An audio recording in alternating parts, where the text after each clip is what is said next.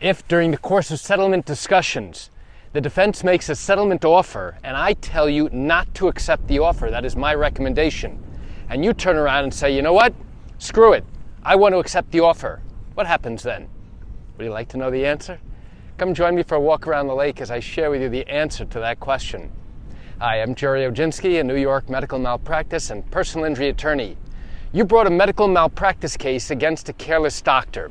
And now, two years later, as we are approaching trial, the defense finally starts to negotiate. Now, the demand that we have made to settle your case is not outrageous, and the defense attorney even agrees with us that our demand is actually pretty reasonable. So now he comes back with one offer, rejected. Comes back with a second offer, rejected. Still too low.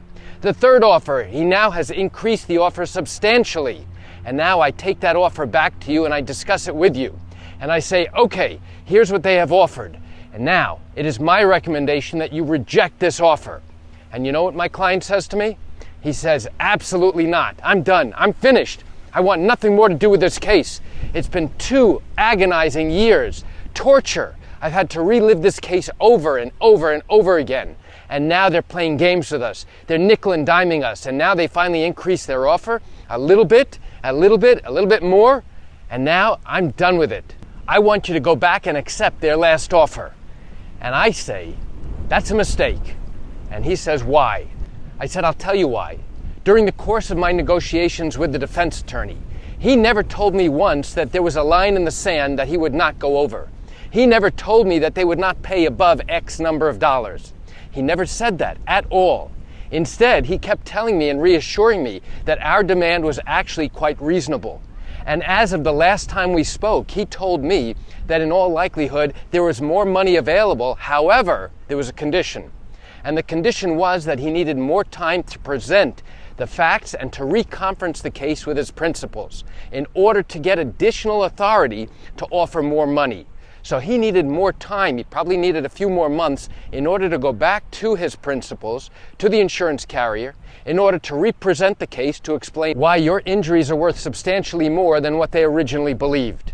And you turn around and say, you know what? That's all nice and fun and well and good. However, I'm not waiting another day. I'm not waiting another week, another month. I'm not waiting months for them to get back to me to tell me that they have more money.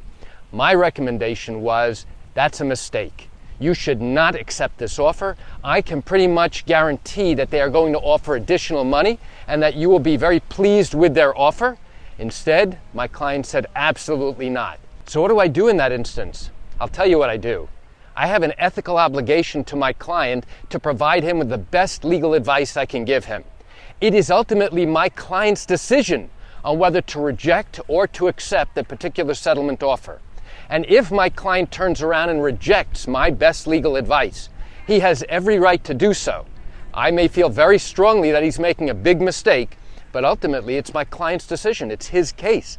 And if he turns around and says, listen, please go back to the defense and accept their final or their last offer, I have an ethical obligation to go ahead and do that.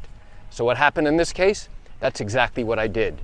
Do I think that the defense was shocked that my client went ahead and actually accepted their last offer?